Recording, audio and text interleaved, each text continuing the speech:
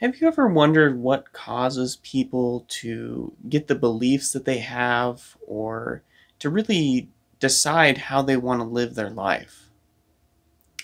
There's this model called spiral dynamics. This model really covers the lowest levels of psychological development to the highest levels. This model really can help explain why you make the choices that you do and why other people make those choices as well. Not only that, this model can serve to be a super powerful tool in personal development and understanding your own growth as a person. This can really help you build a vision for how you want to grow yourself and really, you know, what the next stage is going to be for your own level of development. This model was originally developed by Clare Graves sometime in the 1960s, and it was later made more popular by Christopher Cowan and Don Beck with this book, Spiral Dynamics. They also have a few other products. However, I would recommend this book to really get a good grip on spiral dynamics itself. Now, spiral dynamics is made up of these eight stages, and really what they do is they use color coding for each of them. So at the bottom, you have your stage beige, then you have stage purple, stage red, stage blue, stage orange, stage green, stage yellow, and stage turquoise. It does suggest that there is higher stages. However, turquoise, for example, is probably roughly less than 1% of the population. So it doesn't really elaborate on anything further. It's also not as helpful to try to learn or understand these stages, at least for most people, further than turquoise. I want to give a bit of a brief summary on each stage to help you get an idea of what that stage might be like. However, really to understand this model is going to take quite a bit of research. There's quite a bit of other good videos that individually go deep into each stage. However, with this video, what I want to do is provide a good summarization of each and really give you a good idea of what each stage is like. And that will allow you to make a good decision on if this is a good model and a good fit for you to help your own personal development. The first stage is stage beige. Stage beige is basically an animalistic type stage. There's not really a whole lot of thought process with things. It's more of a reactive kind of stage.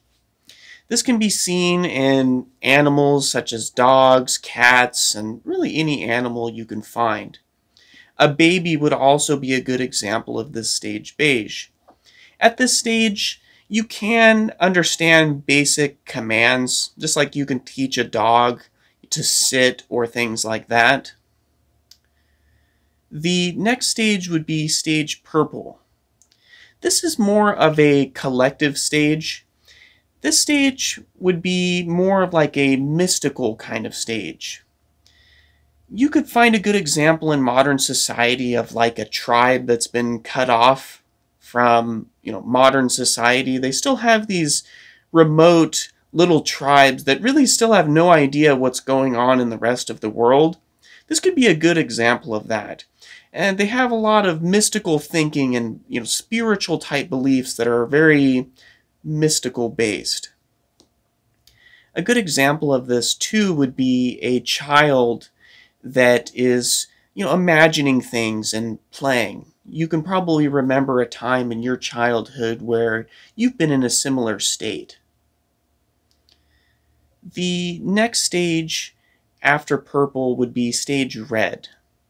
This is an individual stage. A good example of this stage would be a rebellious teenager.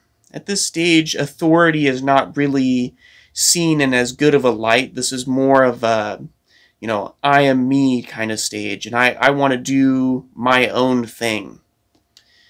Some good examples might be criminals or even rappers. Rap music is a really good example of a stage red kind of music.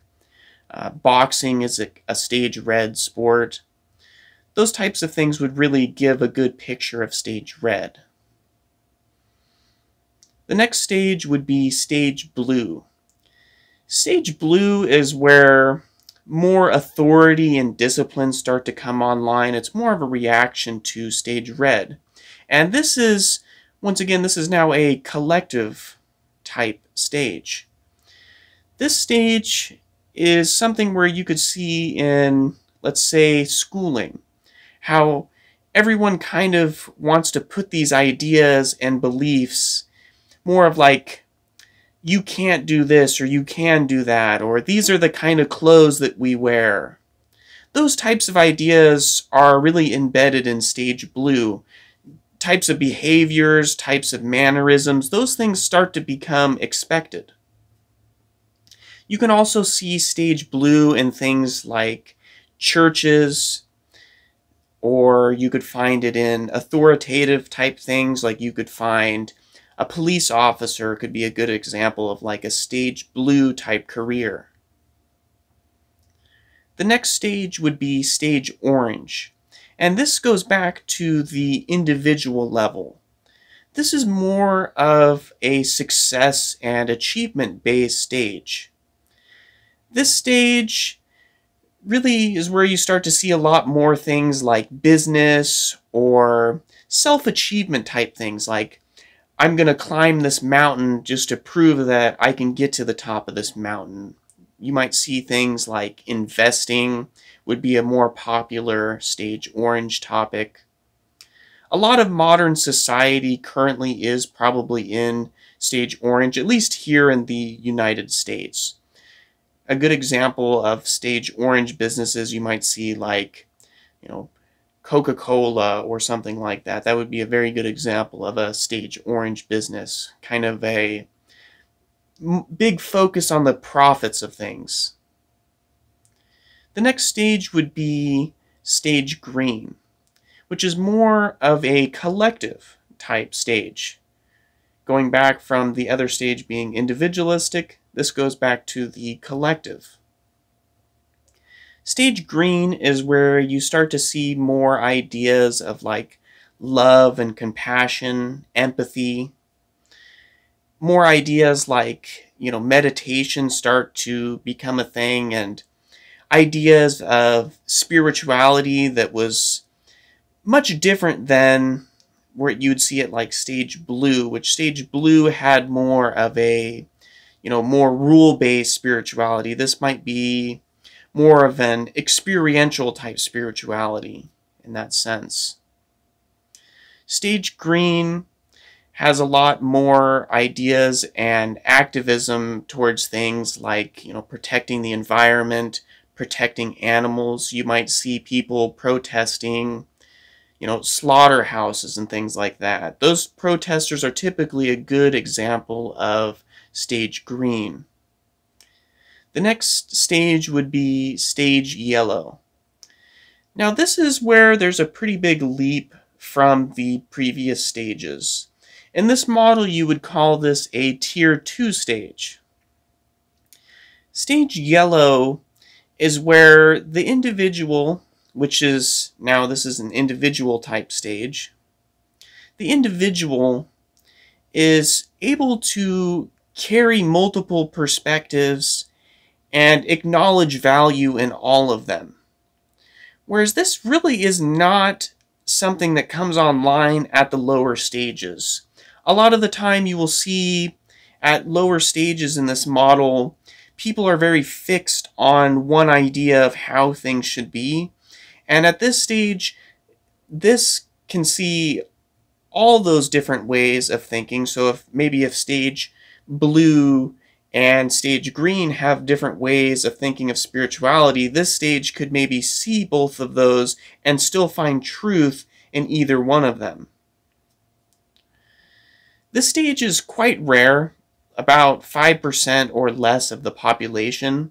A lot of things like reading and knowledge become a big thing. these types of models, like spiral dynamics, become more of a thing. Systems thinking is really popular for this stage. There's various other models and ways of looking at things that become important. This type of thinker would also just think of things in a system and how they operate, not just on one single thing. They would see it as more of a whole and, and how it works as little parts of a system to function. The last stage is stage turquoise. This stage is much more rare than the previous ones. It's about 1% or less of the population. This is more of a holistic worldview type stage. This stage can see how the rest of the world could work together and really help each other the stage doesn't really leave behind a certain maybe country or type of person. There's not really as much of a difference in race or sex really at this stage. This person would want to do things or lead other people to really building a collective world that helps each other and is thriving. The stage also would be integrating those lower stages as well, building upon them and working to help these lower stages get past parts of, let's say, there's an issue in stage orange of a lot of pollution, for example. This stage would want to help countries avoid that while they're progressing through that stage themselves. Spirituality would be much different at this stage as well. Uh, this would actually be something that would be more embodied versus maybe stage green would be more idealistic about what type of spirituality they have. This stage would actually be more in the actual practices and embodying it, and, and how they see and interact with the world would be more intertwined with this spirituality. You could see examples of this in some gurus or other spiritual leaders. Typically, at this stage, the person would be a leader and part of a collective. So, this is also a stage that is collective and not individual. And of course, as I mentioned earlier in the video, there are potentials to have you know higher stages i've heard of stage coral and things like this there's really just not a lot of examples out there or really just a lot of information and research because it's such a small percentage of the population. Even stage turquoise is already quite rare and hard to study. Even i would say even stage yellow can already be hard to really find a lot of individuals that are fully operating at that level. One important thing with this model is the fact that a person is not just at one stage typically. So if someone was maybe based around stage orange, they would likely have some stage green and some stage blue, even some stage red. Then they could even have some stage yellow. Typically, they're going to probably peak more in one of these areas and then it'll kind of spread out around that. Also, a big mistake that I see with this kind of model is a lot of people will start to look at certain stages in a negative light.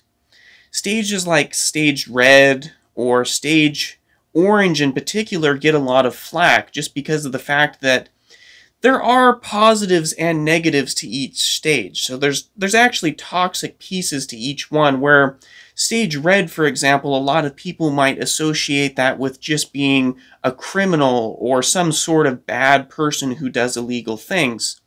This is not always the case. As I mentioned, there could be someone who is a healthy boxer or just even a rebellious teen. That's not really someone who's causing a lot of harm to society.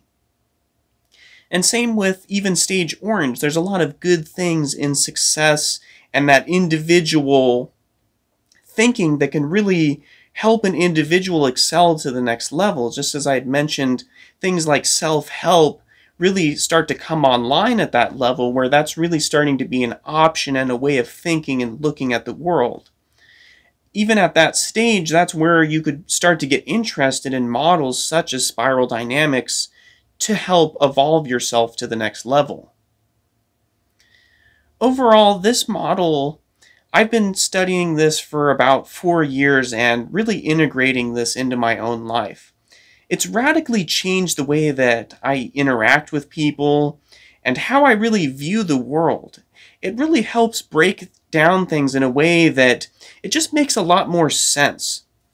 Now, of course, I want you to dive deeper further into this. If you're really interested in taking your growth to the next level, I highly recommend you pick up the book Spiral Dynamics and really invest a good 20 to maybe even 60 hours learning this, really trying to find examples of each stage as well too as you're learning through the book. Go and actually find people that are maybe more notable that you can actually go, okay, this person is stage orange or stage blue, and really try to identify where you're at as well so you can use that to your own benefit as you grow. Thank you so much for watching. Have a great day.